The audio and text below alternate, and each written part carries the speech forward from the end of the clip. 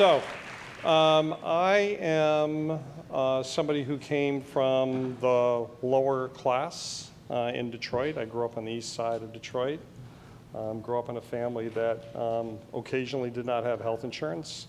Um, both parents worked. Uh, and I was one of the fortunate ones to have grown up in the 60s where I had an opportunity to live the American dream uh, because I had a chance to make that happen. And so one of the things that I have done is I have ascended to the CEO role, a most unlikely candidate to be the CEO of a Fortune 100 company, um, was that I've taken the advantage of this great platform to try and make some social change around how we consider capitalism and how we consider health in the United States.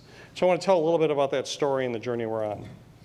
Um, I am also a spinal cord injury survivor. Uh, I broke my neck in five places in 2004 and live in chronic pain every day, so I understand the healthcare system or lack thereof and how it works on improving health. And the case I want to make today is that we redefine health as healthy individuals are productive, productive individuals are viable culturally, socially, spiritually, and economically, and as a result, they're happy. And if we reorient our health system, all of which you'll have an amazing impact on in your future if we do it the right way, we have an opportunity to improve the civility, happiness, and ultimately the vitality of the communities in which we live, work, and play. So that is our mission as an organization, is to build a healthier world. And so we have invested in the corporation to make those kinds of changes. And one of my goals um, for my role as chairman of a 165-year-old company is to make health reform work and to make health care available for everyone. The second is to reestablish the credibility of corporate leadership in the eyes of the American public, a much bigger task than fixing the U.S. healthcare system. Um, but part of that is around having this dialogue um, and engaging all of you in a way of how do we make the private sector work. And I'd like to make a little bit of a case around that. Here is a chart that Sir Michael showed um, in a little different format, but it's about the difference between productivity and hourly compensation. This is a US graph it has not nearly grown. Why has this happened? It's happened because we treat machines better than people.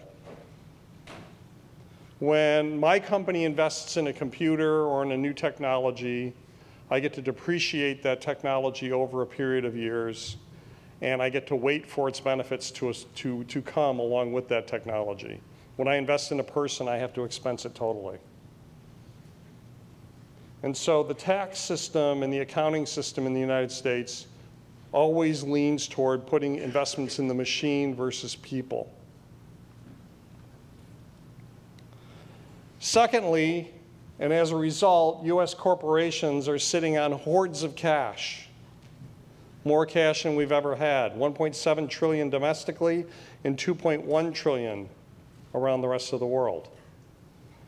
And I liken this to the city-states during the plagues in the 16 and 1700s when we closed the castle gates and walled off the larders until the disease passed by, hoping never to spread that and have it infect our own organizations, and then reopen the gates once it was safe and spend our money. And so this hoard of cash is something that I've been talking to Wall Street and Washington about. I was one of the founders of Fix the Debt in Washington. And our first approach was let's make the government play its role. And what I've come to the conclusion is the government can't play that role. That the dialogue is too uncivil at this point, and that the corporations need to step forward first to make a change. Two Christmases ago, my team each got a copy of Piketty's book um, on capitalism in the 21st century. I thought it was an important read for them um, because they needed to understand the dialogue. And as creators of capitalism in the US, I thought it was important that we have a dialogue about how we reshape that model versus letting it be reshaped for us. If we actually believed in it, there had to be a better way of making the private sector work and we needed to go about the business of doing it. The problem is, is the way we're all educated. And the US education system, particularly MBA programs, including the one here at Columbia, but all around the Ivy League. I was a Cornell grad. You would, they wouldn't have me at Columbia or Harvard. I had long hair. I wore blue jeans and uh, didn't wear chinos and didn't own an, eye, own an Izod at the time. Um, we all focus on this sort of metric. And as countries like Japan in the 80s, and as recently China have brought their leaders over to US educational institutions to learn about business, we have destroyed their economies by teaching them the same math. And you can see those economies fail as we learn these metrics. These are short-term metrics, return on equity, return on invested capital, earnings per share, and price earnings ratio. None of them talk about people. They talk about balance sheet and P&L metrics, that are easy to measure. And let me make a point here that I think is really important. You hear a lot about short-term earnings results in Wall Street defining higher risk. And let me tell you that it's just the opposite. Business leaders take less risk by making short-term decisions.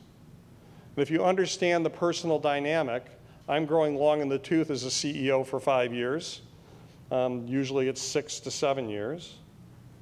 It's easier to make a short-term decision and let the next person worry about it than to make the longer-term decision. And none of these metrics are oriented toward a longer-term view. Because the further the cash flows go out, the higher the discount rate and the less the return. And so when you think about this in the standpoint of human capital, where everything gets expensed now, the best way to manage your earnings is to cut your SG&A by laying people off and building a machine to do the job. So we really need to talk about human capital and investing in that human capital in ways that matter. And then ask the government to help us with the accounting and the tax implications so that we treat people better than machines instead of the other way around by having them solve the problem for us and then opening the larders of the city states and letting the cash flow into the economy. And so human capital has to go to the top. And I came to this realization by having a dialogue um, around, and here's a, here's a chart for Sir Michael that I think you may want to use in future presentations. Um, this is the percent of um, GDP spent on healthcare, that's the blue bar, and the percent of GDP spent on social programs. And you can see that across most economies, it's fairly level when you add the two together, except for a few of the folks off on the end here. But when you look at the ratio between them, the United States spends far more on health care than they do on social programs. And that's a problem.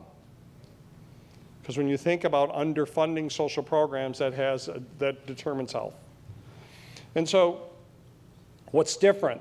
It's the structure of the economics around both.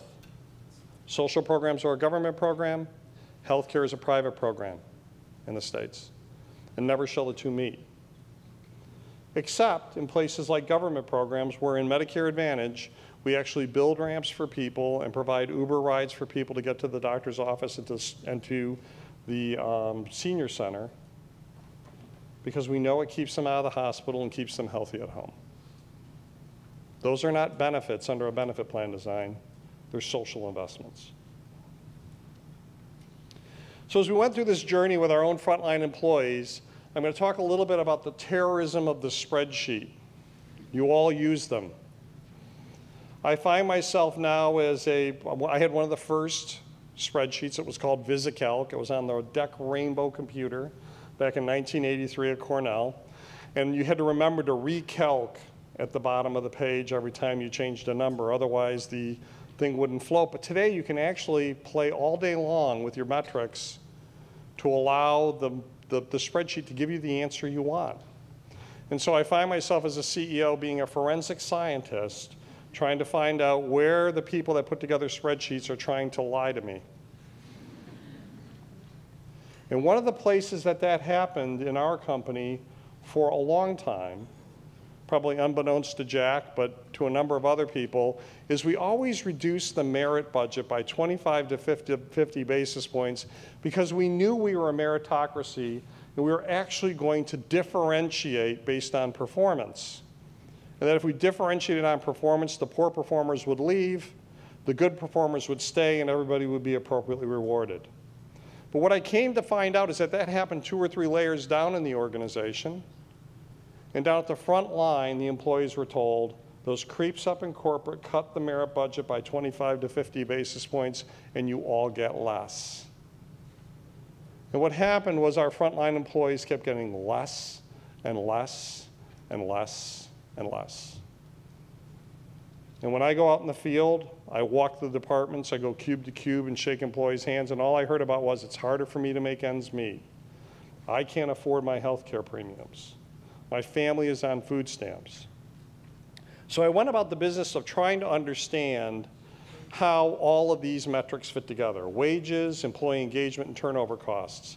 And what I found is in our employee population, while we were not paying minimum wage anywhere, we were paying about $12.5 an hour to people that represented 5,700 of our employees out of 50,000.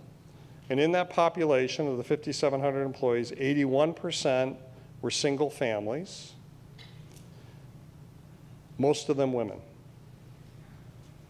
And what we found is that 30% of their children were on Medicaid and 20% of their families were on food stamps. And here we were as an organization with record earnings, record stock price, and leading the industry in total shareholder return. So we started this conversation about how could we affect this, and this is where the spreadsheet comes back in.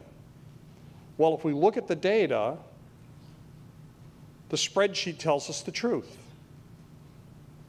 And when we look at costs versus benefits, the benefits that are harder to determine are softer and take less precedence. And the benefits that are easy to determine are the ones that get paid attention to. And those are fewer. And in aggregate, the ones that we can actually put hard data on actually have less impact than the ones we can put in totality on the softer ones. And so we began this conversation where we said we really need to do a few things. First, we need to increase base wages. But when you increase base wages, what you do is you reduce eligibility for benefits.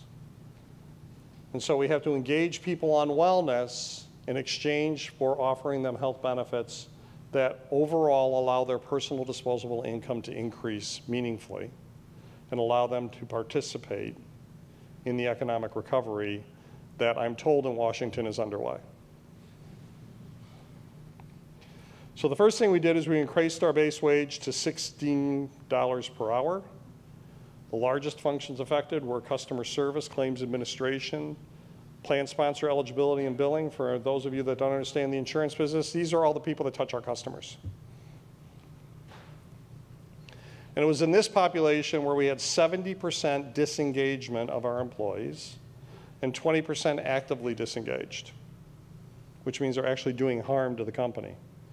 The average increase was 11%, but some were seeing as much as 33% increase in base wages.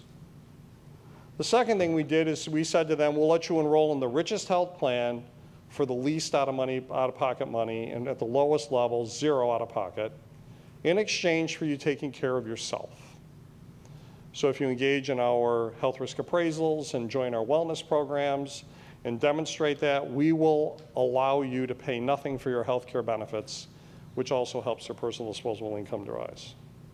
So we saw benefit increases by as much as $4,000 per employee at that level, which for people that were making about $25 to $30,000 is a meaningful increase in their disposable income.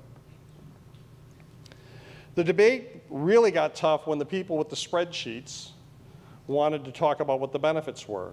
And there are hard benefits and there are soft benefits. And what you have to do is you have to change the dialogue from what is the truth, because when we put spreadsheets together and those numbers go in the spreadsheets, we assume those are truth.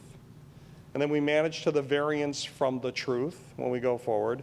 And instead say that these numbers are data points along a continuum of assumptions for each number. And that in the discussion of the assumptions, we create a sense of what the risk is with each number, and we create a risk profile for the investment we want to make. And it's in that discussion of the risk profile that we don't seek truth, but we ask, what do we need to believe in order to make this investment? And that's part of what is wrong with our dialogue in Washington around social programs, entitlement programs, and taxes.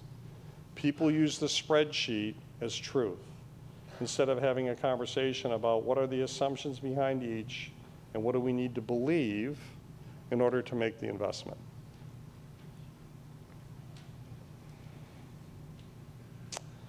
So, balance sheet versus people, spreadsheet versus people. It should be people. It's not doing. It's not about doing the right thing, doing, doing things right. It's about doing the right thing and making the investment in our employees. So at Aetna, we're building a healthier world. I would encourage you to think about the long-term aspects, and I think the future of our industry is going to be built around the community. We won't be in the business we're in now 10 years from now. We'll be supporting and financing a system that is community-based, and that community-based system will be built by all of you. Hopefully there's some health systems planners in the room um, because we shot all of those in the 70s when they got in the way of certificate of need. Um, and what we'd like to do is we'd like to understand the demography, the disease burden, the social, economic, environmental, and cultural trends of a community, build the health system around improving the health of that population, their productivity, their viability, and their happiness, and overall increasing the stability of our communities and of our society. Then the investment will be right. And insurance companies will be nothing more than access to capital in the marketplace for those that want to make those right investments, instead of being the determinants of what happens in the healthcare delivery system. So thank you for your time and attention.